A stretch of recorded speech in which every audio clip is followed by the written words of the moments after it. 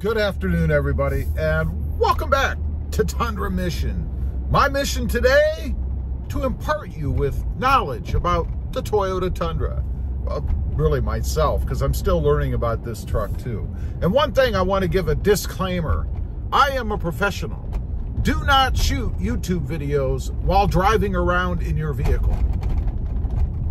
Anyway, on here today, out cruising around in the truck, and I want to talk about uh, auto stop because of course this truck has the dreaded, much disliked auto stop in it. But before we get to that, one thing I wanted to show you guys, I did a video recently about the dash cam and hopefully it came out okay. Otherwise you'll never have seen it if it didn't work.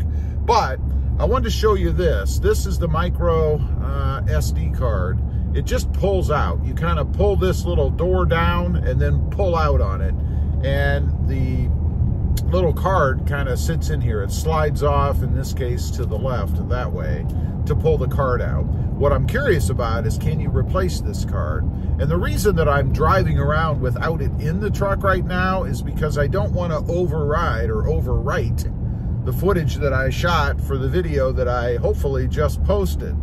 And I'd like to be able to put a replacement in there so that if I do shoot footage or I want to save footage, it doesn't get overwritten um, the next time I drive in the truck. And I don't know if it waits until this is full. I believe it does. But erring on the side of caution, I'd like to have a spare. One other thing, when you pull this thing out, and I did that when the truck was turned off. You don't want to do it while the camera is on but when you pull it out and then restart the truck, you're gonna get some warning beeps on the dash cam. Uh, I guess alerting you that there's a problem or no card in it. So just beware of that. And then you have to go ahead and hold down on the power button on the dash cam to turn it off. So just so you know that. But let's talk about auto stop. Check out right there on the dash. Do you see that? Press brake more to activate. That was me stopped at a stoplight. And one thing I've discovered, and I think Toyota is absolutely brilliant for doing this, unless you really push down on the gas pedal, I don't mean you have to push it through the floorboard or anything, but unless you really push down on it, the auto stop doesn't activate. That means you don't have to remember to turn the switch off or hit the switch because it does have that to disable it every time you restart the truck. If you just don't push the brake down to the floor, it won't activate. And I say that's brilliant on Toyota's part because so many people like me dislike that auto stop feature.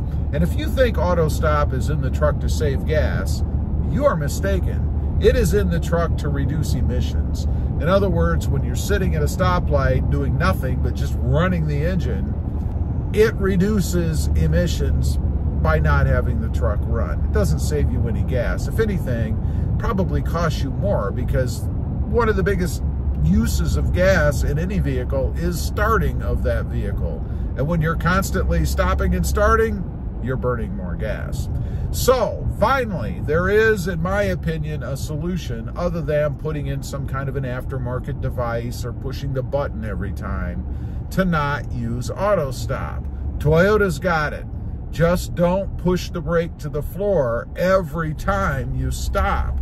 And by the way, you can sit with the truck not rolling without pushing the brake all the way to the floor. So it's not like you're going to be slowly inching forward if you don't push the brake all the way down and activate auto stop. It's a great idea. It's a great way to handle it, in my opinion kind of the best of both worlds. Toyota meets certainly government requirements to have it and consumer requirements to not use it unless you want to. It's completely up to you. Anyway, I just wanted to get on here, kind of talk about that for a minute. You know, I'm a big uh, disliker of auto stop and being able to not use it when uh, when driving around in the truck is awesome. Kudos to Toyota for setting it up this way. I'm not sure if others are doing it, but it's a great idea. Leave a comment. Let me know if you've got the new Tundra or any other new Toyota product that has auto stop. Does it function the same way? And you can, in essence, eliminate it by just not pushing the brake all the way to the floor. I'd be curious to know. Thanks for watching. Stay safe out there. Bye.